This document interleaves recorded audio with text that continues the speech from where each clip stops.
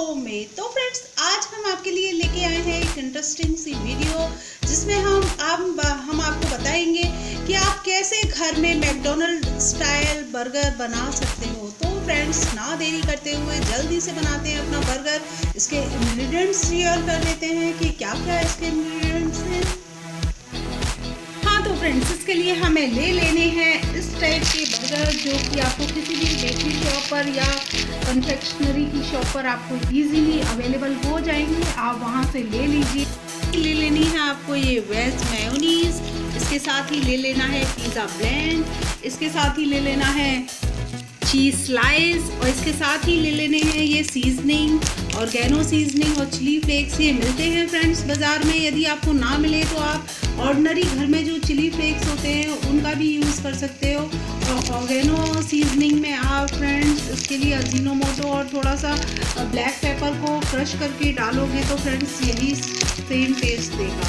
इसके साथ ही हमें ले लेने हैं ये स्लाइस कटे हुए टमाटोज उसके साथ ही हमें ले लेनी है ऑनियन और इसके साथ ही ले लेना है एक अमूल का बटर यदि आप चाहते हो फ्रेंड्स तो इसमें और भी वेजीज ऐड कर सकते हैं, जैसे शिमला मिर्च हुई या कुछ भी, जैसे आपका जो भी आपकी फेवरेट वेजी हो, वो भी आप इसमें ऐड कर सकते हो। और इसके साथ ही हमें लगेगी ये आलू टिक्की।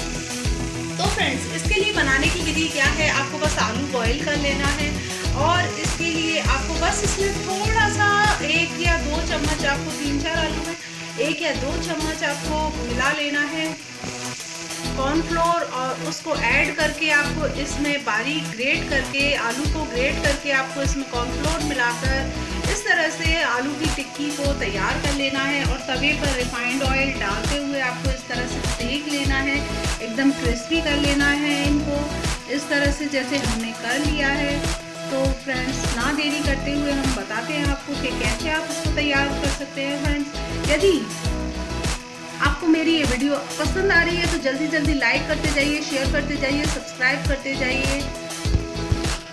हाँ तो फ्रेंड्स आप देख रहे हो, हमें सबसे पहले ले लेना है इस तरह से बर्गर उसको इस तरह से आड़ा रखते हुए हमें नाइफ से इस तरह से कट कर लेना है फ्रेंड्स और जिस तवे पर हमने आलू टिक्की फ्राई की थी फ्रेंड्स इस तरह से इसके अंदर वाली साइड को आपको थोड़ा सा बटर डालते हुए इस तरह से।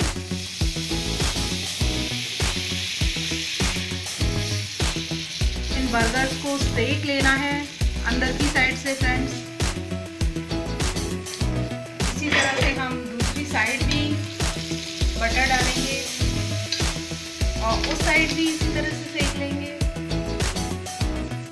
रहे हो, हमारे जो ये बर्गर के बेस हैं, ये अंदर से दिख गए हैं। हमें इतना ही इनको रोस्ट करना है। देखिए फ्रेंड्स इस तरह से। बस इसके बाद हमें आगे का प्रोसेस चालू करना है, जिसमें हमें ये जो हमारे पास ग्रिलर है, इसे हमें चालू कर लेना है।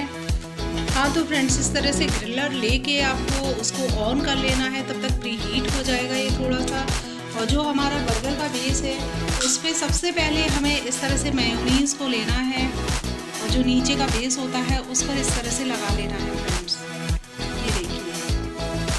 बस एक थिन लेयर हमको इस पर लगानी है।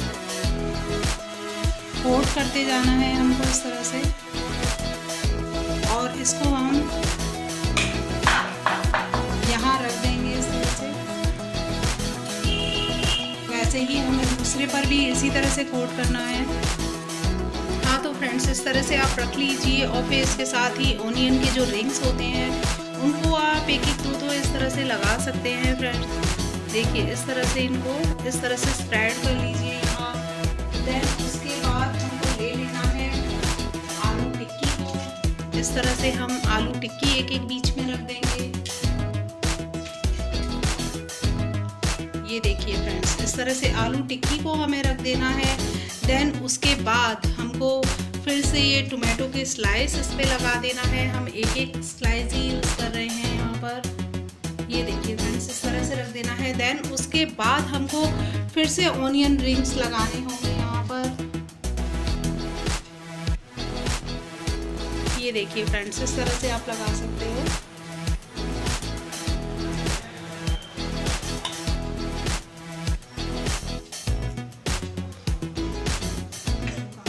हाँ तो फ्रेंड्स आप इसके ऊपर पनीर भी ग्रेट करके लगा सकते हो। यदि आपके पास है तो आप लगाइए ये ऑप्शनल है इसमें, हमको अच्छा लगता है इसमें टेस्ट वाइज इसको टेस्ट काफ़ी बढ़ जाता है तो आप इसको पनीर को इस तरह से इसमें ग्रेट कर सकते हैं और लगा सकते हैं, इससे बहुत अच्छा टेस्ट आता है फ्रेंड्स यदि आपके पास हो तो आप लगाइए अदरवाइज़ आप ऐसे भी लगाएँगे तो ये उतना ही टेस्टी लगेगा।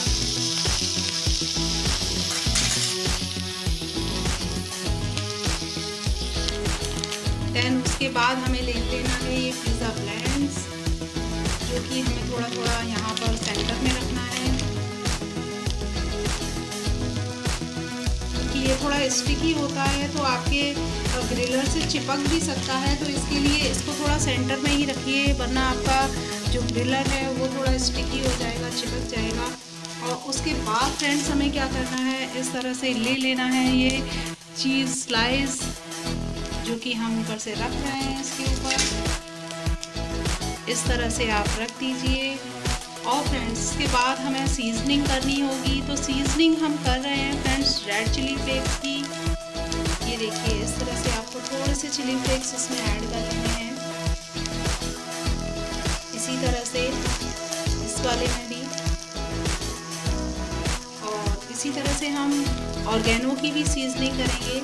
तो इसके लिए मैंने आपको बताया हुआ है कि आप थोड़ा अजीन मोटो थोड़ी सी ब्लैक पेपर को इसमें ऐड कर दीजिए तो आपका बन जाएगा ये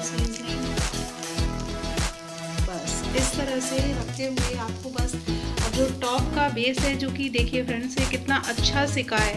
अब इसको आपको इसके ऊपर रख देना है। थोड़ा थोड़ा सा आप बटर लगा दीजिए क्योंकि इसका जो ऊपर का बेस है, वो थोड़ा अच्छे से सिक जाए तो इसके लिए जो इसकी सिकाई होगी अच्छे से।